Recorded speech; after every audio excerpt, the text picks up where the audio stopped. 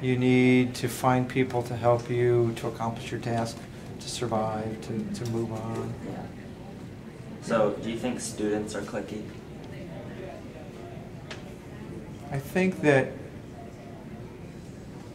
there are student cliques. I don't think students are cliquey. By nature, they're just it just those and like the environment, the circumstances kind of promote clickiness. It does. They're, what they want to accomplish, uh, their connections through the activities that they're involved in, um, those things that they want to get done or want to be involved in, bring them together, and that creates the clique.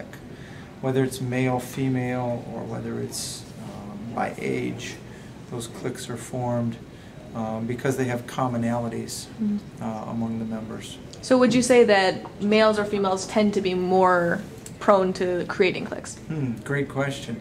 I think that the cliques are more obvious for females. Mhm. I think that ma- males form clips, cliques, but they don't necessarily um, outwardly show it. They, they go together and hang out and watch football games, or they go and wrestle and beat, beat on each other. But with the girls, you see it because their s- um, zone of proximity is much closer. Mhm. So you're going to see the girls huddle together and get real tight. Where the guys, they'll they'll hit and then go on to something else.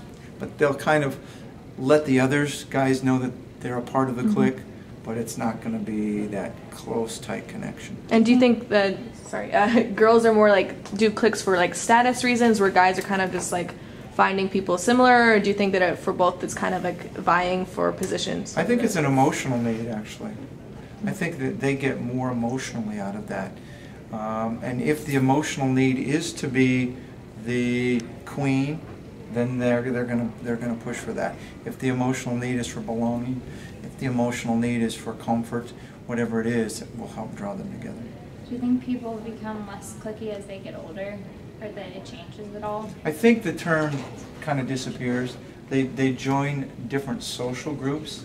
Maybe it's a card group, or maybe they go golfing, or maybe they do something. So it, it, it may not necessarily be seen as a clique. Um, probably um, a social grouping is, is a better term.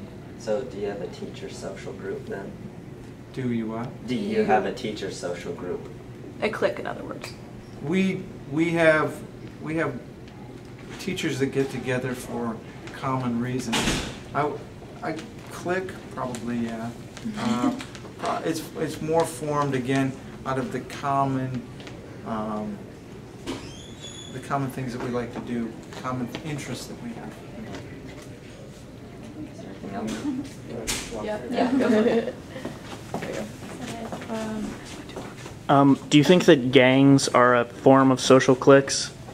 Absolutely. Again, it's that emotional tie. They, they're looking for something, they're searching for something, they want to be a part, and maybe they're not getting it at home. So they're reaching out and, and they're getting social approval through this clique.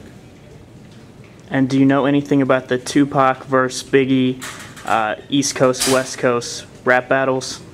Nothing. okay. Thank you. All right, thank you. Thank you.